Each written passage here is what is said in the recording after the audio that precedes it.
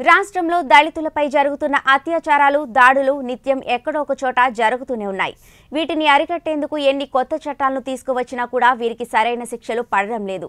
వీరి చేతిలో బలైపోయిన వారికి సరైన న్యాయం జరగడం లేదు. ఇందుకు ఉదాహరణ స్నేహలతో ఉదంతం అనంతపురం జిల్లా ధర్మవరం ప్రాంతానికి చెందిన స్నేహలత అనే దళిత యువతిని ప్రేమోన్మాదుల చేతిలో దారుణంగా హత్య గావించిన సంఘటనకు నిరసనగా నెల్లూరు జిల్లా ఆత్మకూరు పట్టణంలో అంబేద్కర్ ఇండియా మిషన్ ఆధ్వర్యంలో వామపక్ష నాయకులు ప్రజా సంఘాలు క్యాండిల్స్ ర్యాలీ నిర్వహించారు. ఈ సందర్భంగా అంబేద్కర్ ఇండియా మిషన్ కన్వీనర్ పట్టడం మురళి మాట్లాడుతూ దళిత యువతి స్నేహలతను అత్యంత కిరాతకంగా గొంతు నులిమి పెట్రోల్ పోసి కాల్చి చంపారని ఈ హత్య వెనుక ఉన్న నిందితులను వెంటనే శిక్షించాలని తెలిపారు.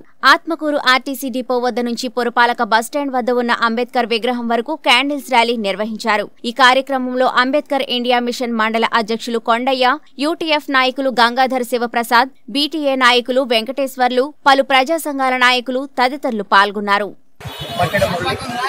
ఈరోజు ఆత్మకూరు డివిజన్ పరిధిలోని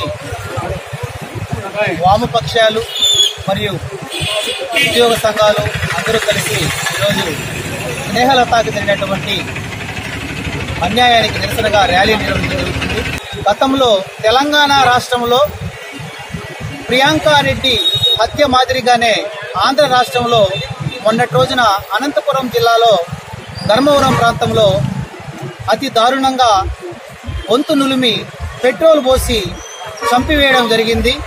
దీనికి గల కారణము ప్రేమోన్మాదం ఆ అమ్మాయి ఓ దళిత మహిళ. ఈ మధ్యకాలంలో దళితులపై అత్యధికంగా ఆడబిడ్డలపై అఘాయిత్యాలు జరుగుతూ చంపివేయడం జరుగుతూ ఉంది.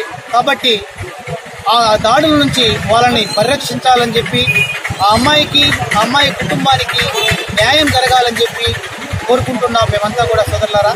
జైపీ తాజా రసూల్ జన విజ్ఞాన వేదిక మరియు యూటీఎఫ్ ఈరోజు ఆత్మకూరు పట్టణంలో వామపక్షాలు మరియు ఏఎం వీళ్ళ సంయుక్త ఆధ్వర్యంలో అనంతపురంలోని స్నేహలత అనేటువంటి దళిత పంతొమ్మిది సంవత్సరాల దళిత అమ్మాయి మీద జరిగినటువంటి అత్యాచారాలను ఖండిస్తూ ఈరోజు క్యాండిల్ ర్యాలీ నిర్వహించడం జరిగింది. దళితులపై మైనారిటీలపై బీసీలపై జరుగుతున్నటువంటి ఈ దాడులను వెంటనే సభ్య సమాజం ఖండించాలి. అదేవిధంగా ప్రధానంగా జరుగుతున్న